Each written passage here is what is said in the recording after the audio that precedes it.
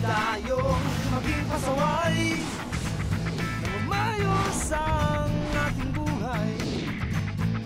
Huwag tayong maging pasaway. Huwag ka nang maging pasaway.